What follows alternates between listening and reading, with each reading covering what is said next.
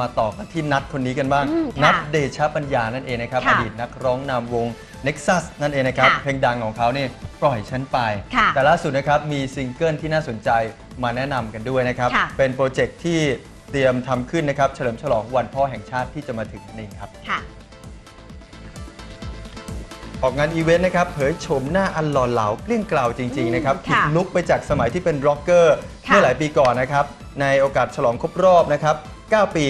นะครับสถานเอ่อเสริมความงามที่เจ้าตัวเนี่ยเป็นหุ้นส่วนอยู่ด้วยนะครับอย่างไอดินสปานะครับงานนี้หนุ่มณัฏฐ์เดชะปัญญานะครับหรืออาจารย์ณัฏฐ์ค่ะก็บอกว่าช่วงหลังเนี่ยผันชีวิตไปเป็นเอ่อข้าราชการนะครับ เป็นอาจารย์มหาวิทยาลัยจนหลายๆคนเนี่ยอาจจะลืมไปบ้างอืมลืมหน้าไปแล้วนะครับค่ะแต่ล่าสุดกำลังจะมีผลงานซิงเกิลออกมาให้ได้ติดตามกันนะครับ เป็นซิงเกิลพิเศษที่ร่วมกับพี่น้องศิลปินนักร้อง และก็กองทัพบกนะครับจัดค่ะทำขึ้นเพื่อเฉลิมฉลองเนื่องในวันพ่อแห่งชาตินะครับ กับซิงเกิลที่มีชื่อว่า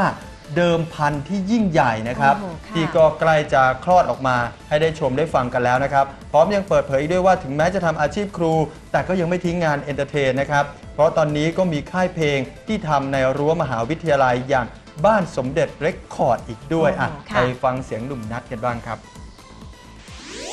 เพลงเดิมพันที่ยิ่งใหญ่นะครับ ผมก็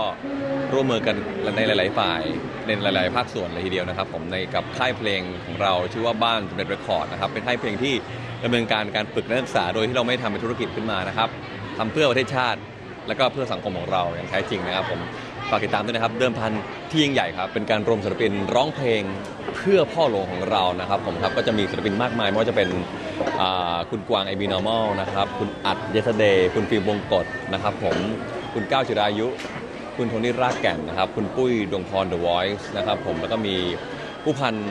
นะครับผู้พันตอสนะฮะวินไทยด้วยนะครับ แล้วก็เอ๊ะ